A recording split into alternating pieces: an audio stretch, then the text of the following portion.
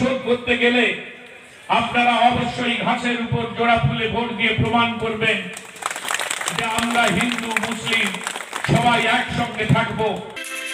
আসন্ন বিধানসভা নির্বাচনকে সামনে রেখে রবিবার চাকুলিয়া বিধানসভার বেলন গ্রাম পঞ্চায়েতের পশ্চিম বিজুলিয়াতে তৃণমূল কংগ্রেসের একটি নির্বাচনীয় কর্মী সভার আয়োজন করা হয়। এই কর্মী সভায় প্রধান বক্তা হিসাবে উপস্থিত ছিলেন রাজ্য সরকারের বিদায়ী মন্ত্রী সোমেন মাহাপাত্র। তিনি চাকুলিয়া তৃণমূলের প্রার্থী মিনহাজুল আরফিন আজাদের হাত ধরে বলেন, দিদি, আপনার ঘরের ছেলে মিনহাজকে চাকুলিয়া থেকে প্রার্থী করেছেন। পুরো রাজ্যের সাথে চাকুলিয়াতেও উন্নয়নের ধারাকে বজায় রাখতে আপনারা নিজের মূল্যবান ভোটটা জোড়া ফুলে দিয়ে দিদির হাতটা শক্ত করবেন। সকলের কাছে এই আশা আমার। এদিন কর্মী সভায় বিভিন্ন দল ছেড়ে পাড়ায় একশো পঞ্চাশ জন কর্মী সমর্থক তৃণমূলে যোগদান করেন। বিভিন্ন দল ছেড়ে আসা কর্মী সমর্থকদের হাতে দলীয় পতাকা তুলে দেন রাজ্যের বিদায়ী মন্ত্রী সৌমেন মহাপাত্র।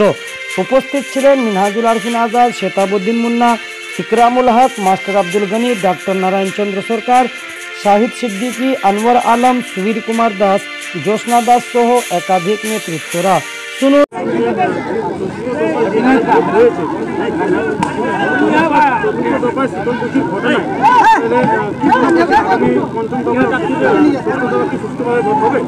আমরা তো আশা করব নির্বাচন কমিশন সজাগ হবেন, কারণ প্রশাসন তাদের হাতে।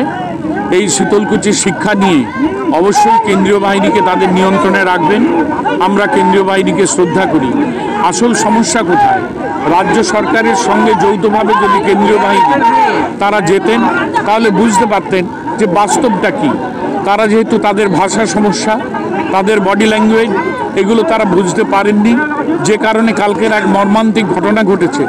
একটি ছেলে আঠারো বছর বয়স, কেরালাতে থাকে, সে পরিযায়ী, সে এসছে শুধু ভোট দেওয়ার জন্যে। তার জীবনে ভোটটা দেওয়া হলো না, শুধু নামটা উঠল। এর থেকে আর মর্মান্তিক ঘটনা ঘটতে পারে বলে আমার জানা নেই। তবে এ নিয়ে এখনও এদের আস্ফলন কমেনি। সভাপতি দিলীপ ঘোষ তিনি বলছেন, বারবার ঘটবে নাকি এই যে ঘটনা ঘটেছে শীতলকুচিত এটা আরও দফায় হবে, সেটাই আমাদের কাছে আশঙ্কা। তবু আমরা বিশ্বাসী, প্রশাসনের উপর বিশ্বাস রেখে বলব, আর রক্ত ঝরাবেন না। দয়া করে নির্বাচনটা সুষ্ঠুভাবে করতে দিন। আমাদের রাজ্য নেতৃত্ব নিশ্চিত করে অভিযোগ জানাবেন। আর আমি তো ব্যক্তিগতভাবে আমার অভিযোগ করার কোনো জায়গা নেই। আমি বলব রাজ্য নেতৃত্ব যেটা দিচ্ছেন সেই অনুযায়ী অভিযোগ করা হবে। আর এটা তো সব মানুষ ধিক্কার দিচ্ছেন। পশ্চিম বাংলার প্রতিটি মানুষেরই উচিত অভিযোগ জানানো।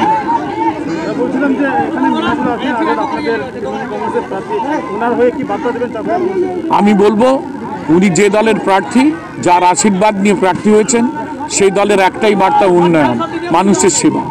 তার থেকে ব্যতিক্রমী আমার বিধানজুল হবে না। তাকে এরা জয়ী করুন। কারণ দেখে নিয়েছেন তিনবার তিন তিনবার এখানে মানুষ বিরোধী পক্ষকে জয়ী করিয়েছিলেন। সে শুধু আস্ফালন করেছেন এবং সাম্প্রদায়িক শক্তিকে মদত করেছেন। এলাকার উন্নয়নের কথা কোনোদিনই ভাবেননি বলেননি করেননি। বলছিলাম যে আজকে কতজন জয়েন করল? কোন কোন দল ছেড়ে? এরা সবাই বিভিন্ন দল ছেড়ে জয়েন হলো। কিছু বিজেপির লোক ছিল কিছু বামফ্রন্টের লোক ছিল। যেহেতু মমতা ব্যানার্জির আদর্শ এবং নীতি ইনাদের খুব ভালো লেগেছেন তাই আমাদের মামাটি মানুষের সরকারের সাথে আমাদের টিএমসি পার্টির সাথে যোগ করলেন আজকে। প্রায় দেড়শো জন মতো। তারা কি সক্রিয় কর্মী? হ্যাঁ তারা তো যেখানে যে ছিলেন সক্রিয় কর্মী ছিলেন এবং আমাদের আশ্বাস দিয়েছেন বা আমরা আশা করি যে আমাদের সাথেও সেভাবে কাজ করবেন ওনারা।